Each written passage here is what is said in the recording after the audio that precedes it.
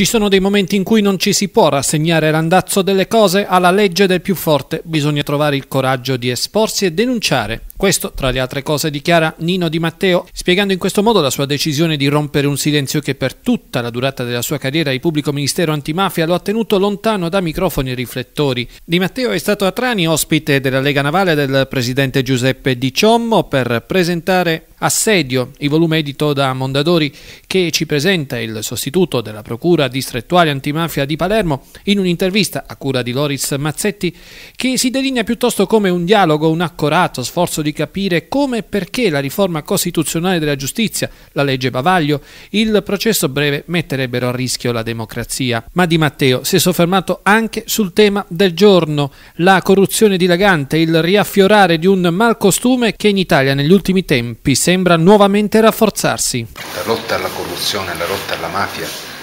non possono essere considerati argomenti diversi. La mafia riesce a penetrare il mondo della politica, dell'imprenditoria, dell'economia sana attraverso tutta una serie di condotte di corruzione, attraverso gli abusi d'uffici dei pubblici amministratori. È necessario che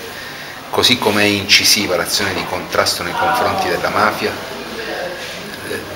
il legislatore prevede degli strumenti più incisivi per combattere la corruzione dilagante. Filo conduttore del libro è la convinzione di Di Matteo che il rapporto tra mafia e politica sia il cuore del problema, soprattutto in un momento storico come questo, in cui lo Stato è riuscito a colpire duramente l'ala militare di Cosa Nostra, ci si deve però rendere conto che per sconfiggere definitivamente la mafia è assolutamente necessario recidere i suoi rapporti con la politica. Per questo la magistratura si sente ancora sotto assedio. Una magistratura veramente autonoma e veramente indipendente dal potere politico